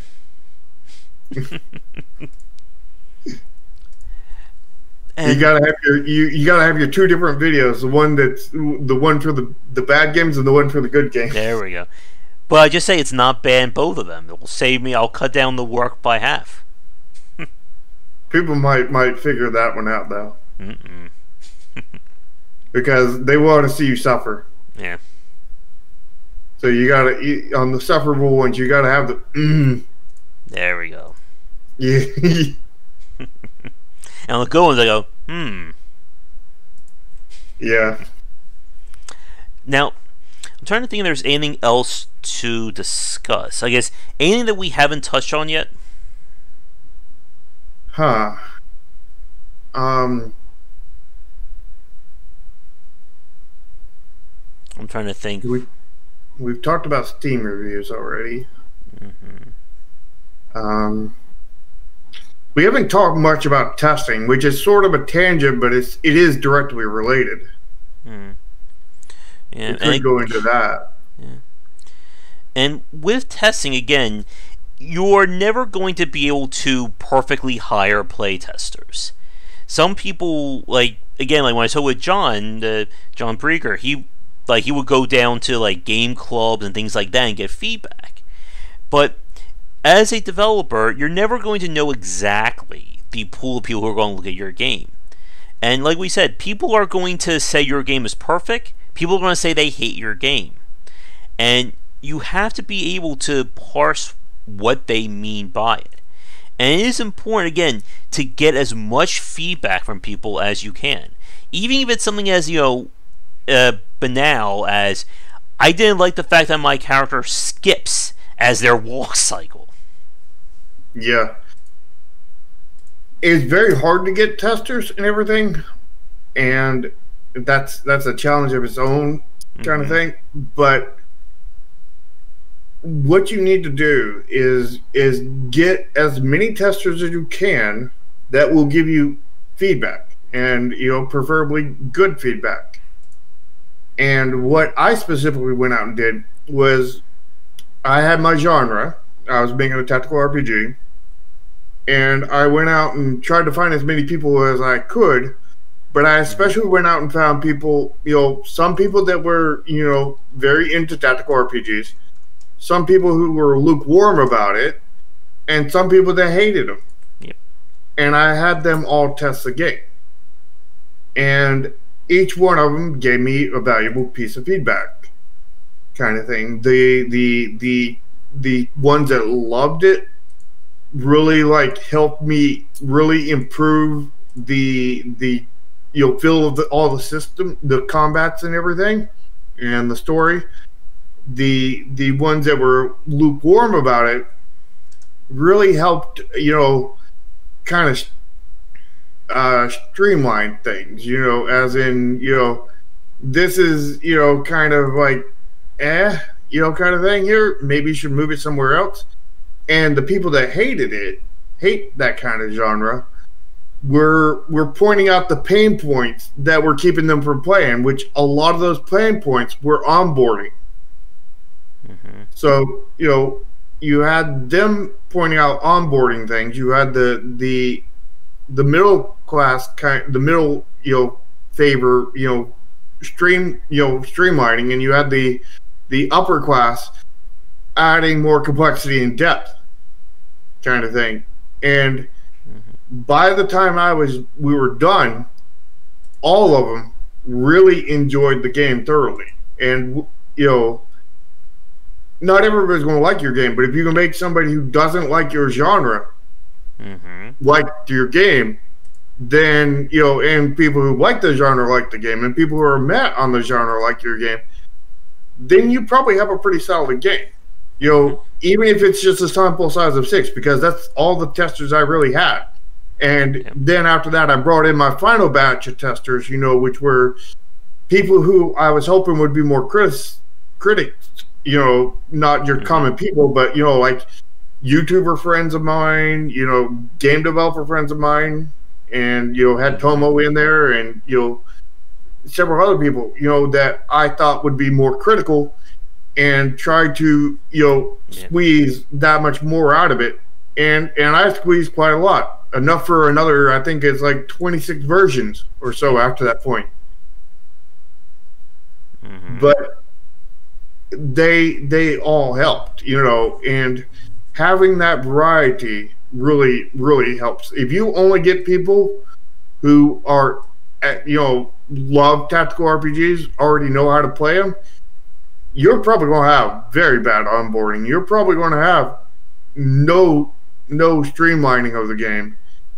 And you're probably going to have all of the complexity even complexity for no reason. You know, hey, why should I level up this when I can just level up this? Well, we wanted the options, you know, like this is the false choice, you know, and if you put your points here, you just completely screw yourself. And if you put your points here, you just become OP. So anybody who knows what they're doing will automatically go for the OP build. Yeah, the problem is, is you know, that's not a very big portion of your audience that is the you know top 0.1 percent or something of your audience and guess what? They're the only people who like your game now. Yep. you just cut your your your your your game down by 1000 percent. Uh, when we did the talk about frustrating games and tracking kind of like the amount of time people play your game, if you remember, I showed some of the achievements of games where, you know, 87% of the people loaded up the game, and then 20% of the people actually made it past the opening tutorial. And this is a, one of those issues that if you want to design a game that only you know 1% of your fan base is going to enjoy you can do that but then don't come crying when you don't have enough money to keep making video games Mm-hmm. And and I want to make this point. You know, some of you guys look up to me and think that I'm, you know, amazing game developer, and thank you for thinking that. But I am not immune to this. Like, I will do stuff that is completely stupid, and you know, and you know, there's no reason for, and I'm counting on feedback to to filter that out so I can fix it. You know. Mm-hmm. I mean, that in the end is what testers are. They're filtered, basically. You know, it's like, you know, if you don't do testing, it's like drinking unfiltered water. You you you're going to get syphilis or something. You're going to get something bad and die if you drink enough of it. And you just never know how much is enough. It could be one sip, it could be, you know, 200 gallons. But at some point, it's not a question on if you'll get sick and die. It's a question on when you'll get sick and die. And that when is most likely when you release your game. hmm Most likely. But you may get lucky. You may get lucky and not not not get it in the first game. It may take your second game, your third game. Yeah. More than likely you're not going to get that far. You know, more than likely you're going to win the lotto before you go that far. Yep. More than likely you're probably going to have to win the lotto to not get it in the first game. So so Mm-hmm. And again, this is why we see so many indie games that come out that people say, "Oh, it's the greatest game ever. I love it. There's no problems with it." And then I see less than half the people actually made it past, you know, level two. And, there are people those people are the ones that were praising it. Exactly. There are people who will praise a game and maybe only play 20% of it. And they'll, you know, they'll argue saying, you know, I saw all I needed to see. Well, unfortunately, that doesn't help improve this game and give credible feedback. Like I said, somebody argued with me about issues with Celeste, and I said, "Well, did you play the DLC?" Like, no, I stopped playing after. I only played for the story, and that was it. And yet, that doesn't help me when we're talking about onboarding and playability issues. Yep. And like we said, there are like when we talk about people who only look at games as an art form, that there are plenty of critically praised games that have massive issues with their onboarding and playability that again are just, you know, ignored because people praise it for you know the art or you know this song moved me and I cried. Ten out of ten game. Yeah. And games are art, but they're also art, products. Art, art, yeah, and and also art is is the thing that is most open to criticism. I think art is more open to criticism than products are. Mm-hmm. Because art is more uh, what's the term? Um, subjective? Yeah, that's the term. Art is more subjective. And you know, products are not like you know, a fork is not subjective. You know, as long as a fork works, they they don't really care. You know, art, art you know, like like unless you have one of those fancy forks that cost about three hundred thousand dollars to buy, nobody's gonna criticize you on how it looks. And if if you're selling a fork for three hundred thousand dollars, they probably aren't going to buy it if it doesn't look good. So you just mm-hmm. didn't sell anything. You just went bankrupt. Mm-hmm. Just like a game developer. Yep. I think like you can use like to Minister's uh, point about using like Reddit and stuff like that. You can use like forums and stuff like that as a source of feedback, but again, you have to be really careful. You know, not to just listen to one group of people. Like uh, Shark said a few minutes ago about with gameplay test for Chromasia, he looked at people who are hardcore fans of the genre, minor fans, and people who've never played a game before. And yes, it is important. If you're making a first person shooter, then yeah, you want to get feedback from people who play first person shooters. That's an important point. But mm-hmm. You also need to look at people who have never played those games. Those or who those who can give you feedback about why they don't like those. Again, one of the reasons why companies like Nintendo and Blizzard have done so well is that they try to make their games as appealing as possible and make accommodations for people who aren't the best platformers or who don't play CCGs or real time strategy games or whatever. And there are people who mock them for that, who, you know, say, oh, they're just, you know, trying to be a.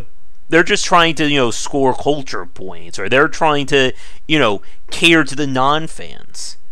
But mm-hmm. again, if you want to grow, you need as many people to enjoy your game as possible.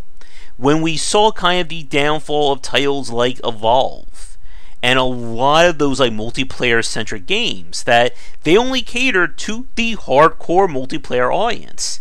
The problem is that hardcore multiplayer audience were already playing games like Call of Duty and Battlefield and so on and so forth. And they didn't want to switch. Nope and I've, I've never used Reddit for that kind of thing. I don't know if that would be a best place for it because, like, Reddit scares me, as does Twitter and Facebook. Mm-hmm. I like Discord, you know, specifically, you know, you know, game art discords and game development discords and any kind of, you know, game dev focused you know, Discord in any fashion tends to give you really good feedback. And, you know, when I look for testers and everything, I don't do public testing. Mm-hmm. That that's that's a big no no because of multiple reasons. Number one, you know, if you put the if you put a public version of the game out there, you know, then mm-hmm. Google's going to get screenshots from it and you know you have all this placeholder art. It looks like crap. Three years later, when you release a game and it looks amazing, and somebody Google's the name of your game, and they look at the in the the the top things that come up, the first like twenty pages or so are all that really crappy looking placeholder art, and people are gonna oh, be like, yes. uh, "No, no, mm-hmm. I am mm-hmm. not touching this game with a 2,000 foot pole. But your game looks nothing like that because you put it out there. And Google will do that to you. Google, Google will absolutely, remembers. Google will absolutely sync your game. hmm They don't care. They will give whatever came out first. And guess what came out first? The crappier looking version of your game. hmm And again, And- knowing when to publicize and release about your game, that's another topic in of itself, easily. hmm But my point is, is the way to get testers, you do testing is not publicly. Hmm. What you do is you you look for people publicly, and then when you find those people, you take them privately onto your you know private Discord channel or whatever, you know your private Discord chat, your group chat, whatever, and then you give them the key there, you know, and and have them play and test and give you feedback there in that private setting, not on the open world wide web, where Google and anybody that wants to cause trouble can see it. hmm Because you know, if a drama YouTuber you know finds your game and and they hate you for some reason or no reason, they just but they still hate you. hmm and they want to, you know, come after you. Guess what they're going to do? They're going to look for the crappiest screenshots and everything they can do of your of your game, and they are going to have a field day. So you should definitely not be publicly showing. You know, well, not publicly showing, but publicly putting out a version of your game that is inferior, mm-hmm. as well as you should not be marketing it. The only way you can possibly get away with that kind of thing is if you're a famous developer already. If you're Klei, you can put out, you know, you know, prototype art that is just black and white and you know shows uh, a, you know black and white texture of hey look at this crazy shape of a machine what do you guys think about it you know that works for them you know Yeah. Because They're already freaking famous. Yeah. yeah because everybody knows where that's going.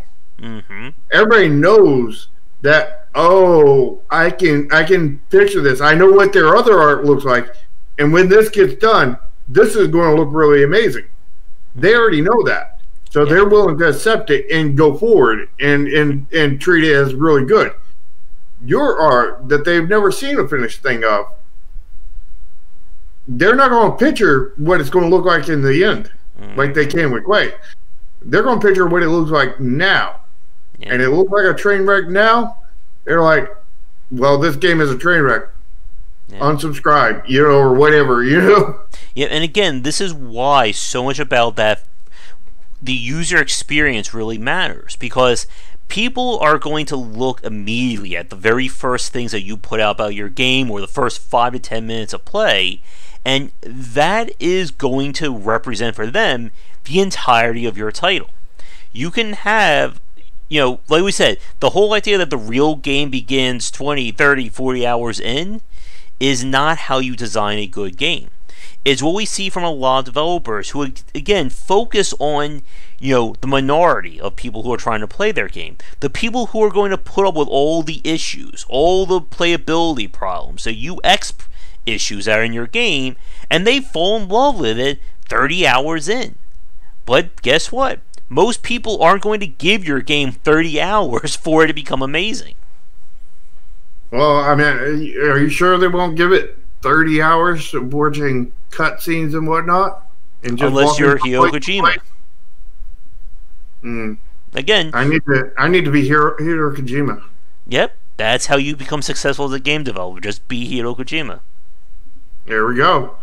Well, we, we just solved uh, the world's problems right here. You know, I, I think we've we've we've we've we've broken through game development, and we just there's the ultimate solution. We're we're done here. Like like you know, I mean, like I mean, what are you going to do now, Josh? I mean, like there's no more content to make. You Yeah, know. we did. We we solved all game design. yep.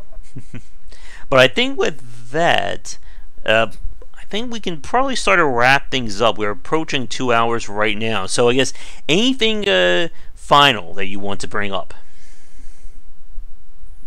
Huh. Just sort of a recap. Like, like mm-hmm. we need to accept feedback. We need to deal with feedback, and you know we have to do it in a way that is mentally sound for us because there are those bad ones, and if you if you read those, they're going to drag your mental condition down, and they're going to put you in a depression if you let them. And you have to avoid it and not let them put you in that mental depression. And it's hard, you know. I know that you know, you know, many people, uh, several people call my game an asset flip. You know, so, uh, several people called it an RPG Maker game, and it's like, um, you know that RPG Maker makes RPGs, not tactical RPGs, right? I thought RPG Maker makes Call of Duty. Oh, it does. hmm and and like in the end i i now know what they why they said that they they said that for for two reasons and you know both of them said it because the art mismatched. Mm-hmm. But you know i there was no way to get that from their feedback kind of thing. There was no way to you know do get understand that besides hindsight 2020 but there was other people that came a lot closer to that that i might could have got it from. But they definitely did not in any way remotely sp- you know address it directly? Or you know, it was just hinted around at best in the best of them mm-hmm. and the and and people have criticized me on this on discord about you know giving feedback and it's like he didn't ask for that kind of feedback. Yeah i you know but he asked for feedback Yeah. i'm going to give him feedback if he's asking for feedback Yep. I'm not going to. He's not going to have to tell me, "Hey, you know, you know, what do you think about this one pixel right here? Is this one pixel good?" I'm going to tell him, you know, hey, you know, your tile over there is completely mismatched, Mhm. you know, to this other tile, and this other tile is mismatched over here, and you really oversaturated your colors. Your problem is not that one pixel. Your problem is Mhm. everything else but that one pixel. You Yeah, know, and and somebody else will say your thing is perfect. Don't change anything. I mean, uh, I and they did. They they did. They literally said that right Yeah. after that. Oh yeah, like I stalk a few of the like Facebook like indie dev groups. I used to it since I like kind of got away from Facebook, and there are people who post something that looks horrible, and I go, "So what do you think?" And you know, ten people say, "I love it, best thing ever, can't wait to play this game." I'm just looking at it going, "This looks terrible." But of course, if you post that, people will say, "Oh, you're just hating on them," or you know, how you're just attacking them. Yeah. That that specific instance I'm referring to was somebody posting a image of like a like side scrolling like rocks in the ground kind of Mhm. thing, the rock texture and everything. And the first image they posted didn't look bad. It definitely wasn't good because you could easily see the pattern. You could see, you know, Mhm. everything. And then they went through an iteration and everything, and then they came out with another version that was anti-aliased as all heck. There was probably 256 colors on that 256 pixel image, and it looked like a blurry mess. And I said, "It looks blurry," and man, they they they came on to me hard. You know, Mm. they're like, you know, read the rules, give proper feedback, tell a reason. It's it's blurry. That's the reason. Yeah. It's a blurry mess. hmm It's it's anti-alias to an extreme to the where it's blurry.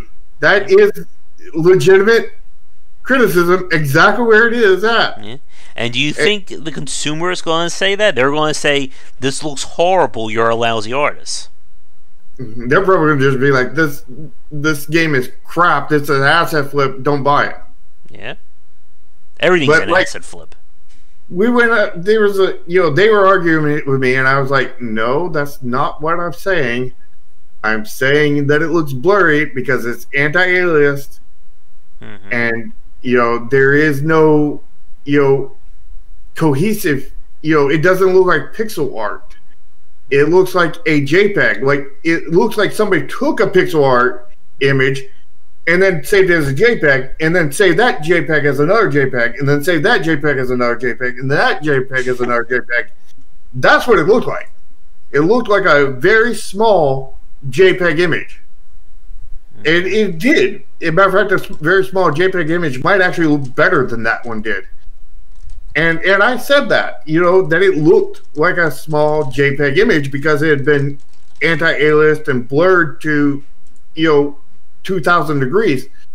But they continued arguing. They would not accept that feedback, and they would just keep on, keep on, keep on. And mind you, that one of these people was a mod Mm-hmm. of this Discord channel, and you know, they kept on and kept on, and and was calling me a troll and everything else. It's like, look, I was like, look, you don't have to accept my feedback. That's perfectly fine. You can not accept my feedback if you don't want to accept it. But I'm I'm telling you what your issue is. Mm-hmm. You can do with it what you will. Yep. And and they kept on calling me a troll and everything else, and you know, and you know, shoot me down. And eventually, you know, somebody came in there and be like, "Yeah, he's right. You know, that is blurry. That is very very blurry. Yeah, You've that's got anti-aliasing everywhere. There's no cohesive in the pixels." Mhm. And they're like, "Oh, okay." Yeah, that's like, the best the part when everyone just like immediately agrees with what somebody else says when you said the same thing. And and were attacking me over it. Yeah. You know, and and and and it's not like they gave any more detail because they just said the same thing that I said, but in less words, Yeah. in less art. You know, less. They were they were so focused on arguing and not focused on taking any criticism, accepting criticism, and you have to accept criticism. Oh yes. Not all criticism is good. That one was, but you know, not all will be. Like I've had you know criticisms to that I should put multiplayer in my game, and no, I shouldn't. should turn into a visual novel. Yeah. yeah, And I think what you said a minute ago is very important. You can do whatever you want with the criticism, but you still have to take it. And don't argue about it. Yeah. And like we said, people don't care about your life when it comes to your art or your game. They care about what they see on the screen. You could spend 30, you know, the last 5 months of your life trying to make a you know, draw a pixel art or make a, you know, a village in your game. And they'll look at it and they'll go, this looks like a damn Unity asset flip. Or, Mhm. you know, everything looks mismatched. It looks like some, you know, some first-rate art school student did this. And you have to take that. And if you don't take it and you don't improve, then you are going to be in for a very different world when you show your game beyond just you know your five or ten friends on a Facebook group or your Discord group or whatever, and they all hate it, and Mhm. they may tell to your face, they may tell to you on a Steam review, or they may not tell you anything, because again, people who leave reviews aren't the they are the uh, loud minority. The Yeah, they're, quiet- they're one out of fifty basically. the quiet majority will just take one look at your game, go, this looks horrible, go on to the next game.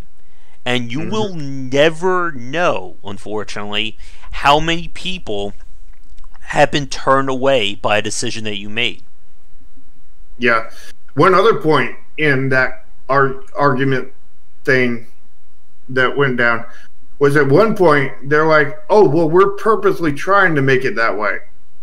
I was like, "You're Uh. purposely trying to make it a blurry mess that nobody's going to like and everybody's going to complain about." Yeah, again, that goes back to all my the Mon Retro example I said earlier. Um, we're trying to make our game frustrating to play. You know, just like those games from 1990. Well, guess what? It's not 1990 anymore. Nope. You can invent time travel, make Yeah. that game, and then take that game back to 1990, and then maybe you'll do good. Mm-hmm. But you may also fail, but still in the 90s. Pretty much.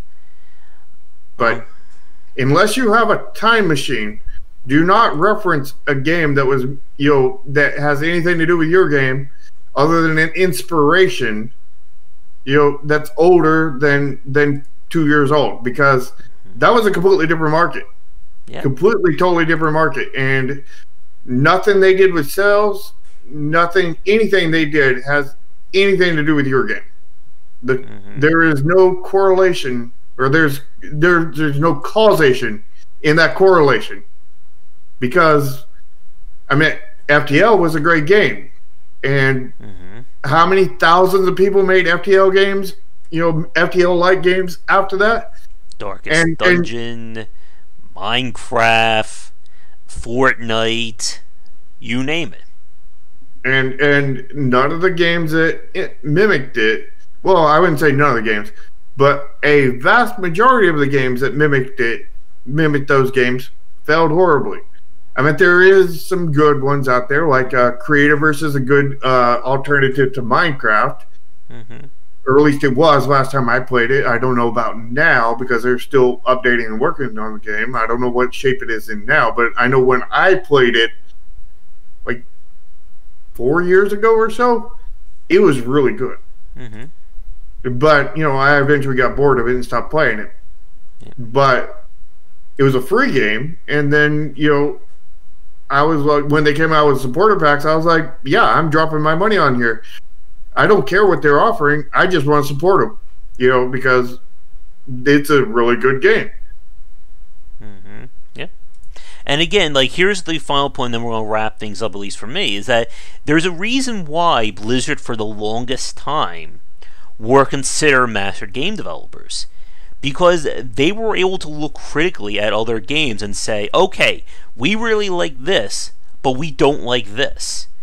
And how do we, you know, how do we refine the wheel, essentially? It's not about making a new wheel, it's about taking what works and removing the stuff that doesn't. And it sounds very simple when I put it like that, but it is anything but.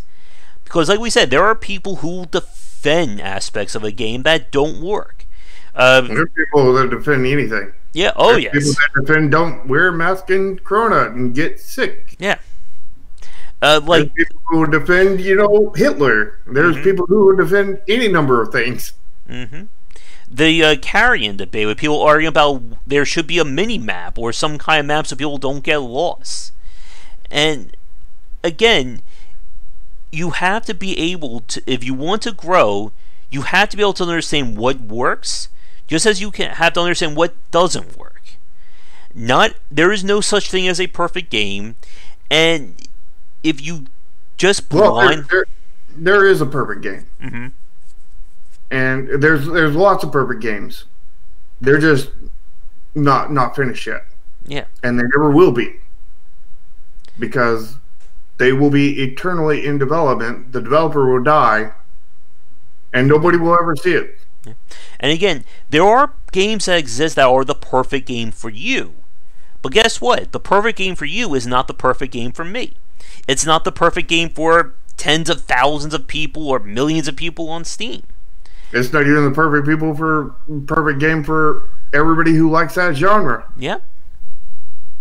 And if you don't understand why somebody doesn't like a game or don't understand why this criticism is coming in, you're never going to grow. hmm And you know, basically, think of think of feedback as playing a game. Like Mhm. you're playing an RPG, and as you develop, as you learn stuff, as you program stuff, you get EXP. As you accept feedback and adjust your designs and everything, you get EXP as you accept you know feedback that isn't good and then you decide not to implement that you get exp and you're leveling yourself up and you're becoming a better game developer. And of course, we all gotta, you know, we all gotta shoot for the, you know, max level of nine nine nine nine or nine nine, depending on where the level limit is. Yeah. Point is, is probably nobody's even made it to level thirty yet. We're in like D and D levels, you know, kind of thing. Where, where twenty is like, you know, max level kind of thing. But there's actually the the actual real max is like ninety nine, but nobody's passed level twenty and you know most people are not even level two. Yeah. Don't be, don't be one of the level two noobs. Mhm. Don't be a level two noob. You got to accept criticism, grow as a developer, get your exp, level up, Mhm. upgrade your weapons, and and go out there and slay some monsters that are not basic slimes.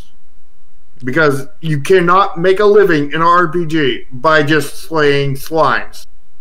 And by slimes, I mean, you know, that's basically the equivalent of, you know, your echo chamber. Whatever echo chamber that is, you know, whether that's just your friends or anything. I'm not saying your friends are slimy. I'm saying they, they have no experience in games and they will give you no experience in games. hmm All right, but I think with that, uh, let us wrap things up for today. I think this was a really solid topic. I think these mega topics are working really well for these discussions. Yeah, I like doing the mega topics. They're, they're really good. All right, so for everybody watching this uh, live or record, we're going to end things here. If you have suggestions for topics, let us know in the comments or join our respective discords. You'll find mine down below, as well as Shark's Discord, as well as his Twitter and YouTube. Or post it in chat right now in the next like 20 minute or seconds. two. Yeah. But we will be back next Sunday around 4 4:30 EDT for our next stream, and come back for daily discussions on game design here and on game wisdom, where we examine the art and science of games. And I think with that, uh, do you have any updates uh, you want to tell people about Project Triad, or are we good? Ah, well, Project Triad is in a precarious situation right now, Uh-oh. and uh, I'm not not liking that. Uh, we're we're looking for a programmer and uh, another programmer. This is like the programmer number, I think like eight, ten, something like that, something crazy. And um, we desperately need a programmer who can do stuff properly and do it in a timely manner without costing us fifteen hundred dollars a month. Because Uh, I don't have fifteen hundred dollars a month. I I I, I have like fifteen hundred dollars period. Well, definitely best of luck with that. If anyone's interested, get in touch with Shark and join his Discord down below. Yeah, indeed. But Could very much use the help. hmm But with that said, thank you for tuning in to this week's cast. Come back for daily discussions on game design here and on game wisdom, where we examine the art and science of games. Until next time, take care.